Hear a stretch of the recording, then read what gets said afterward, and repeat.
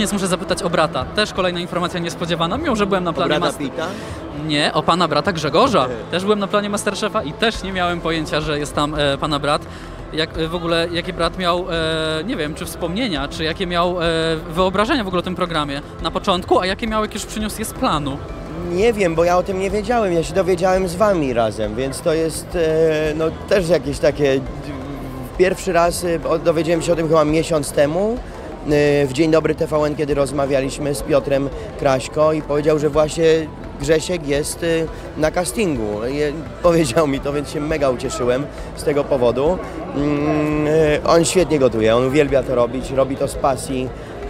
Także trzymam za niego mocno kciuki i mam nadzieję, że mu to się uda dojść jak najdalej.